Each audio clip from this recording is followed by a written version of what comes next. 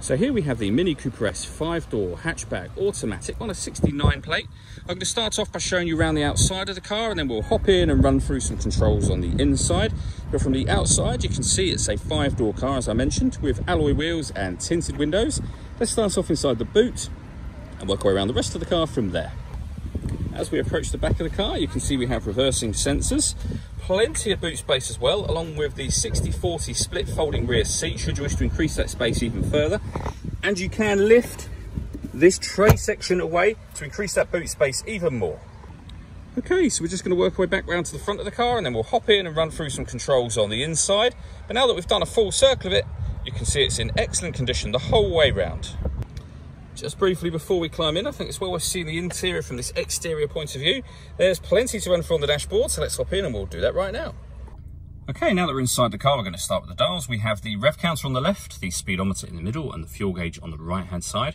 In the very middle, you've got the trip computer screen. and You can see the total miles for this car, which are 1,872.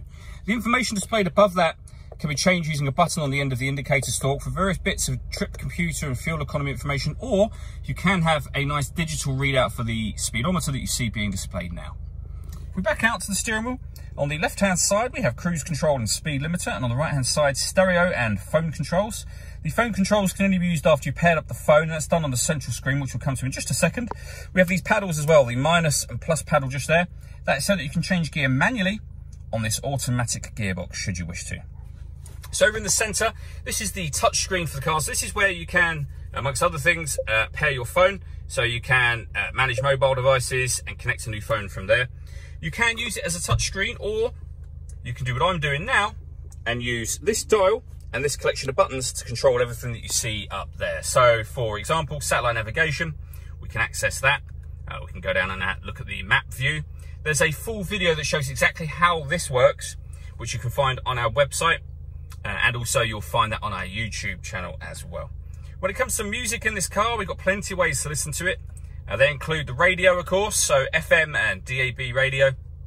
We can stream our music wirelessly via Bluetooth audio, and we have USB input as well. So say plenty of ways to listen to your music.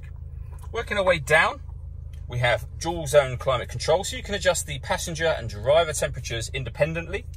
The fan speed up and down from here you can determine where you'd like the air to be redirected within the car from this one. Plus, when you're happy with those settings, uh, simply uh, hit that button to turn the air conditioning on or off. It's on at the moment, so off, back on again.